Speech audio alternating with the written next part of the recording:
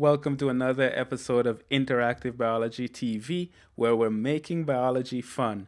My name is Leslie Samuel, and in this episode, episode 19, I'm going to be answering the question What is summation? And I'm going to talk about the two types of summation. So let's get right into it. Summation is basically the addition of postsynaptic potential.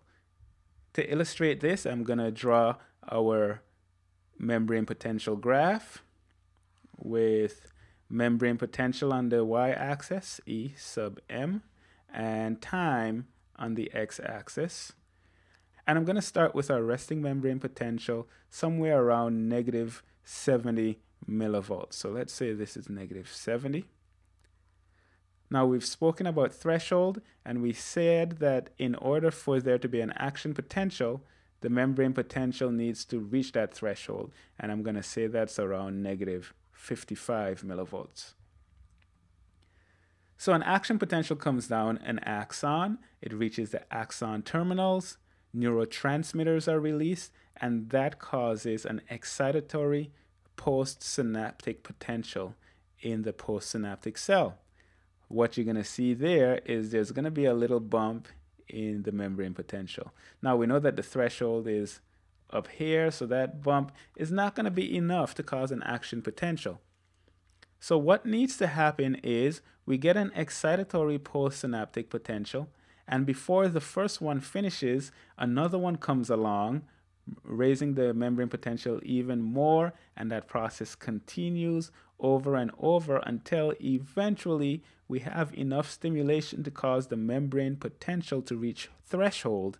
And then we get the action potential with our depolarization, our repolarization, our hyperpolarization, and then the action potential is finished.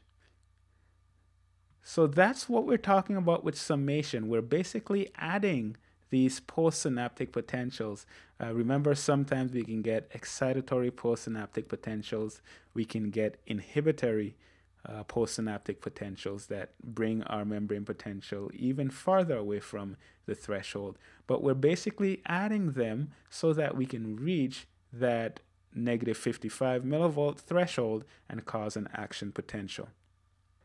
With that understanding, let's look at the two types of summation we have temporal summation and we have spatial summation. And I'm going to do a drawing to illustrate both.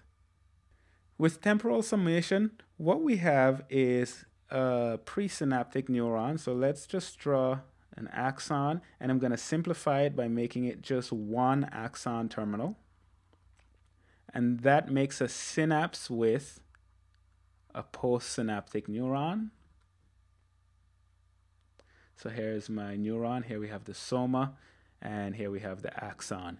And what happens is a signal comes along this axon, comes to the axon terminal, releases neurotransmitter, and that causes an excitatory postsynaptic potential in this cell.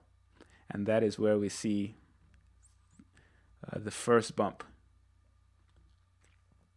Now, if it sends that signal and it sends another one quickly and another one quickly and another one quickly and it continues doing that, that's going to cause the membrane potential to go up and up until it reaches the threshold and causes the action potential. This is temporal summation. Now that's different from spatial summation. With spatial summation, we have an axon here, and I'm just going to draw one axon with one terminal. Of course, that's simplified. That connects to another neuron. However, we also have another axon that comes and we have an axon terminal that connects to the same neuron.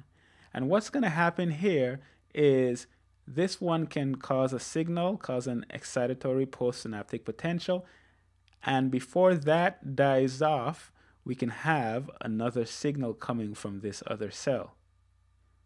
So we have two separate neurons causing responses in this cell. And of course, we get the same result where the membrane potential goes up. And when the next one fires, it goes up again. And this one can fire again, that causes it to go up. And then it eventually reaches the threshold, causing our action potential. That is spatial summation. So an easy way for you to remember this, at least this is what works for me. Spatial summation is separated by space, okay, because we have two separate neurons that are firing. Temporal summation is the same neuron firing, but each signal is separated by time. So temporal summation separated by time, same neuron. Spatial summation is separated by space because there are two separate neurons. That's all the content for this video. We've looked at the two types of summation and we've answered the question, what is summation? If you have any questions, go ahead and leave a comment below and I'd be happy to get to it. That's it for this video and I'll see you in the next one.